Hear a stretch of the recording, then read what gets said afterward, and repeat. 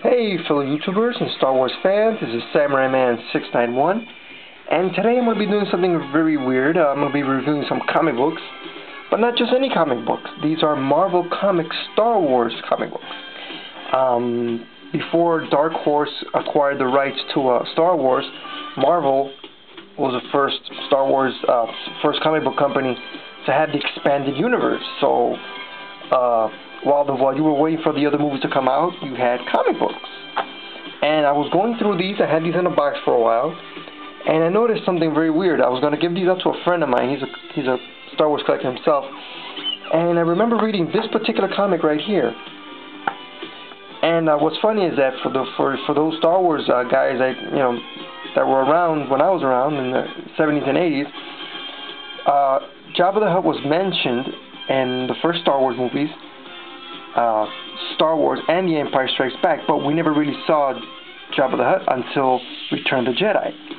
And um, when Marvel Comics did Star Wars, they pretty much had free reign to do whatever they wanted except kill off characters. So um, the Lucas people never had any, they didn't really have any say so in Marvel Comics, so they pretty much did what they wanted. And um, as I was looking through this particular one, I noticed something very weird that I, I must have read this one like five times and never really caught on to it. But um, for those of you who've never really seen Jabba the Hutt before, there's Marvel Comics version of Jabba the Hutt, which is, gotta say, better good looking than the slug that we're all used to.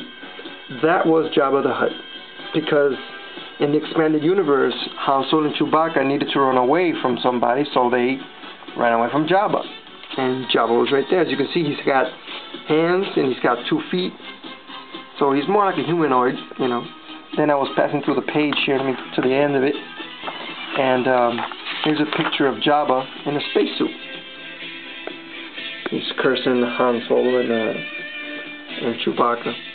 And, and Han Solo just cracking up. and Chewbacca too. But anyway, there's Jabba. And now why does Jabba look like this?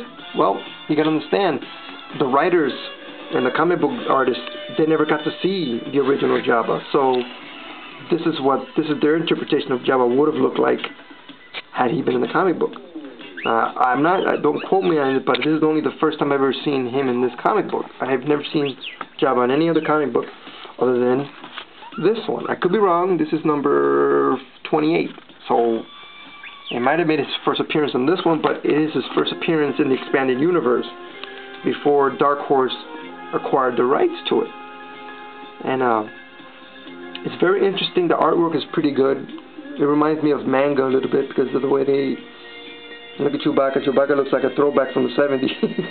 Doesn't really look like the movie Chewbacca. But, you know, point was across, so everything was cool, so weird. But these are very good comics. They're very fun to read. They're great artwork. I mean, fantastic. I only have a few. Uh, look at this one. a green rabbit and a old man with a lightsaber. Interesting. Very interesting. And then I found this one in, in one of my boxes. And um, I don't know if you can see it with the camera, but this thing is really, really... The water must have went through this for years because I've, I haven't seen this in a while. and it was in a box and it was stuck to the bottom of the box so I tried not to yank it out but I think I might have ripped it a bit. It's got water damage and it's a pretty big thick issue pretty big it's got like 144 pages if you if you count them back to back so pretty weird um, but they're good stories I mean before we had DVDs and VCRs and all that stuff if you wanted to see Star Wars you had to read the comic book I really like it. It's pretty fun. Here's Darth Vader and a guy with yellow boots and a pink suit. And we don't want to get to that. but yeah, Jabba the Hutt. What a guy. One more time for just in case y'all missed it. Get in there. And there's Jabba the Hutt. Hey, Jabba. well, I just thought I'd share that with you guys. And thank you for all you guys for subscribing to my channel. Uh, gets me motivated to keep on going.